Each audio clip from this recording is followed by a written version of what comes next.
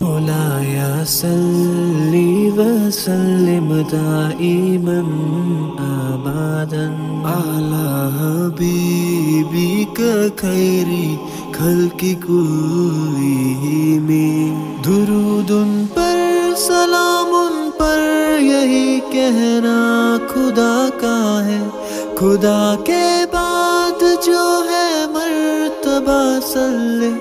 अला का है वही सरदार आलम है, वही गम ख्वार उम्मत है। वही तो हशर के मैदान में सबकी शिफात है, शिफात के